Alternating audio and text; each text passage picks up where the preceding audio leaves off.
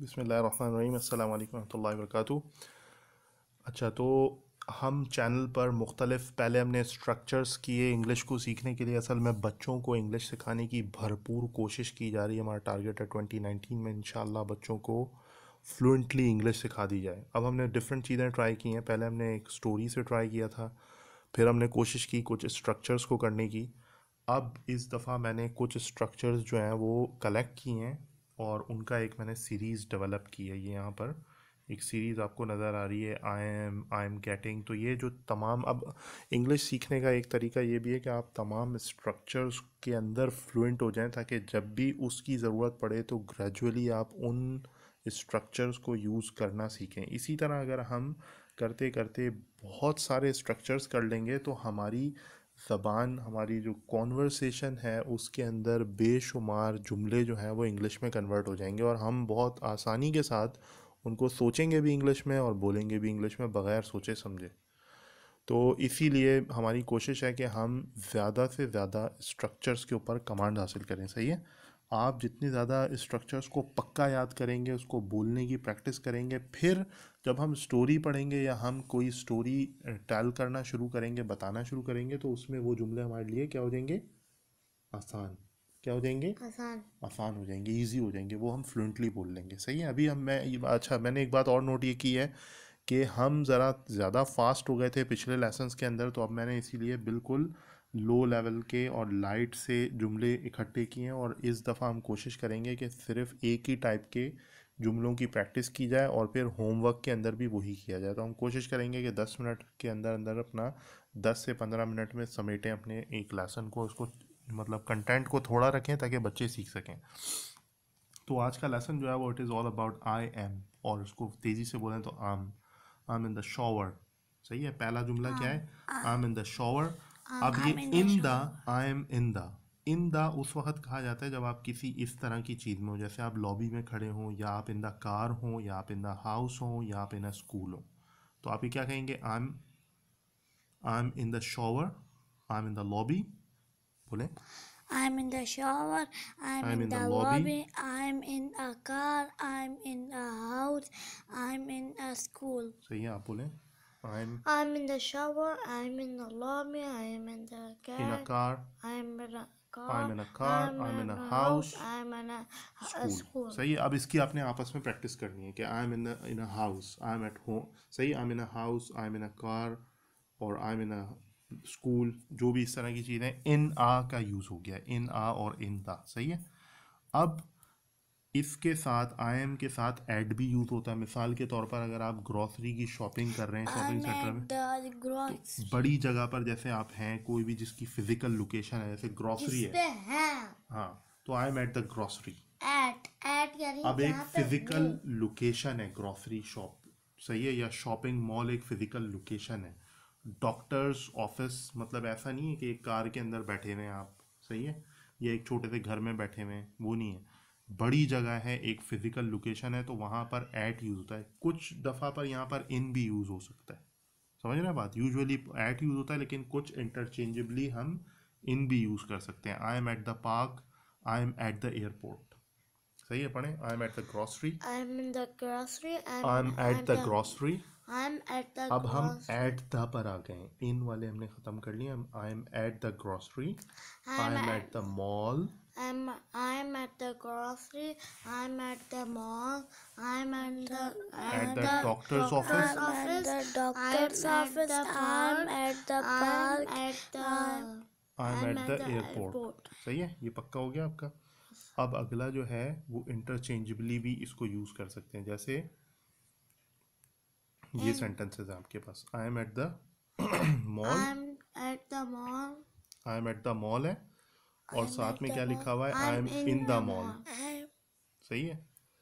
I'm at the mall I'm in the mall और इसी तरह देखें एट भी यूज़ हो रहा है इन भी यूज़ हो सकता है। I'm at the park I'm in the park सही है लेकिन I am in the airport नहीं हो सकता।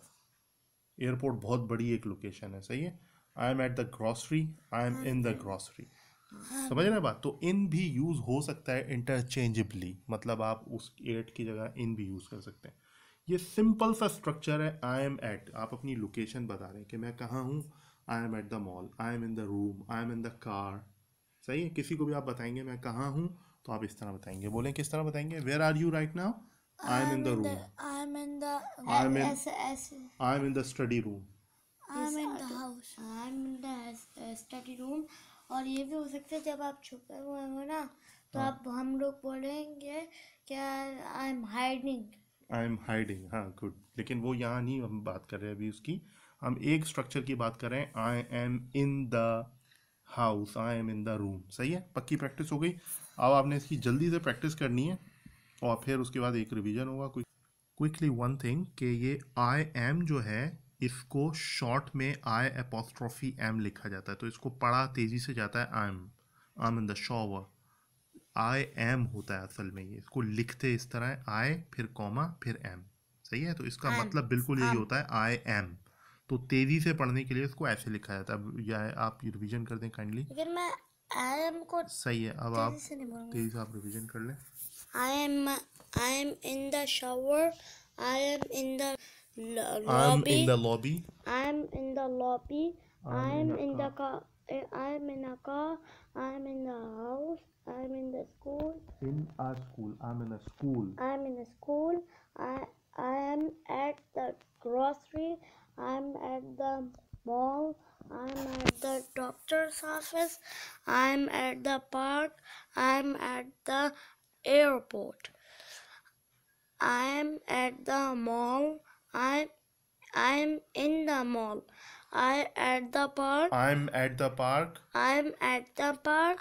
I'm in the park. I'm at the grocery. I'm in, in the, the grocery grocery. Good अब आप एक दफ़ा कर दें quickly and then we finish इंशाल्लाह I am I'm in the shower. Shower. I'm in the lobby. I'm in a car. I'm in, a I'm house. in a house. I'm in a school. I'm at the grocery. I'm at the mall. I'm at the doctor's office. I'm I'm the at the park. I'm at I'm at the airport. I I'm, I'm at at, the the mall. mall. I'm in the mall. I'm at the park. I'm in the park. I'm uh, at, At the the, grocery. grocery. I'm I'm in in, the the, grocery. grocery. सही है अब ये last तीन items हैं ये quickly मैं बता देता हूँ जब भी हम किसी चीज़ में ऑक्यूपाइड होते हैं ना जैसे हम फ़ोन पर बिज़ी हैं तो हम कहते हैं I am on the phone I'm on the phone. I am on the I'm on the phone. अगर मैं कंप्यूटर में बिज़ी हूँ तो मैं क्या I'm कहूँगा I am on my computer I am on my computer अगर मैं किसी से फ़ोन पे बात कर रहा हूँ और मैं उसको कह रहा हूँ कि मैं वो मुझे कह रहा है मैंने मेल भेज दी है। तो आप कहाँ हैं? मैं बोलूँगा I am on my computer tell me what did you send क्या भेजा है तुमने? मुझे बताओ। सही है?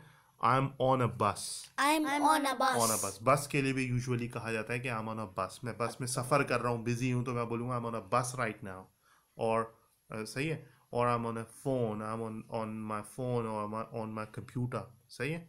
इस तरह. सही है? तो यहाँ तक ये हो गया। अब इसी तरह हम ये सीरीज़ जारी रखेंगे।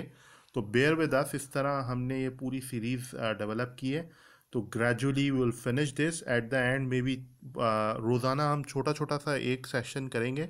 आपसे रिक्वेस्ट ये है कि आप इसकी भरपूर शिद्दत के साथ प्रैक्टिस करें। बहुत कोशिश करके इसकी प्रैक्टिस करें। थोड़ा थोड़ा करते जाएँ। थोड़ा थोड़ा करते जाएँगे करते जाएँगे कंसिस्टेंटली करते जाएँगे तो क्या फ़ायदा होगा? एट द एंड बहुत सारे जुमलों का मजमुआ हो जाएगा। अभी हमने क्या सीख लिया? I am at the I am in the I am on the हमने ये सीख लिया। I am यानी कि हमारी बात. हम अभी कहाँ हैं? I am in the room सही है? I am in my room अब इसी तरह थोड़े थोड़े हार्ड होते जाएँगे। I have to I got I won I would like to ये सारे सेंटेंसेस हम लोग एक एक क्लास में करेंगे। तो इस तरह ग्रेजुअली इंशाल्लाह विल लर्न जजाकल्लाह खैरन। Baba Baba